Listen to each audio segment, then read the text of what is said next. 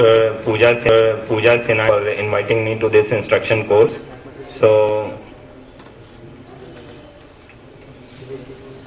I will just briefly go through the, some of the slides before the actual cornea presentation start regarding anterior segment uh, OCT. The introduction has already been covered, so and again advances, uh, advantages over UBM has already been covered by previous speakers.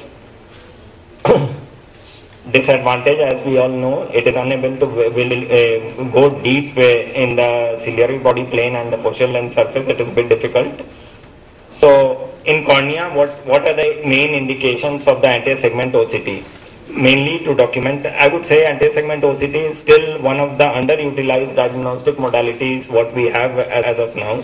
And uh, various anterior segment disorders can be properly uh, documented if we use anterior segment OCTs. These are some of the conditions in which, which it can be used. As you can see here, is a corneal scar and slightly thinning of the cornea. So proper documentation with corneal thickness can be done, depth of the scar can be assessed. Again, this is a corneal scar in, in of which the depth of which can be assessed. Now, same thing, a scar with the edema, corneal edema is present. So, uh, post-infective uh, scar with gross thinning. These are some of the pictures which can be easily used for documentation. Very beautifully documented DM separation, uh, maybe following cataract surgery. Bullous keratopathy is proper, uh, can be uh, properly documented.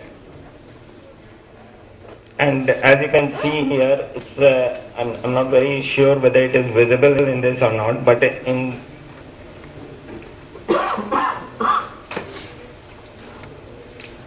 in this slide there is a very shallow DM detachment is visible here. So if, uh, if there is an unresolving corneal edema post cataract surgery, the, the, as Dr. Subhash has very beautifully shown, the DM detachment can be documented and managed properly.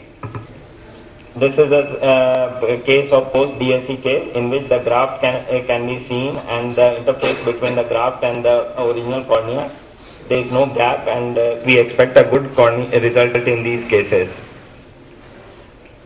Post PK, if you can see this is the uh, junction of the graft and the host on the both the sides.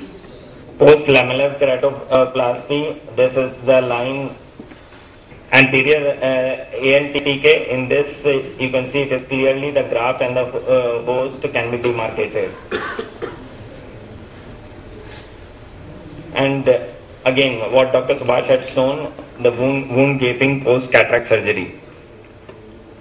As here you can see there is thinning of the cornea on the peripheral side, so this is a case of PMD. Tear film can be again assessed in case of dry eyes. Conjunctival cyst, why it is important? Because again we need to assess whether it is communicating with the inside of the eye or not. In this case you can see a, good sclera is, can, uh, there is no gap in the sclera. It is a case of simple conjunctival cyst. Refractive surgery I think will be covered uh, in the next. Uh, one thing, uh, uh, one important thing is in documenting post ICL Again, whether the vaulting is proper or not and how is the ICL, whether it is rubbing from the under surface of the iris or not, it is a, a useful method for diagnosing. Thank you so much.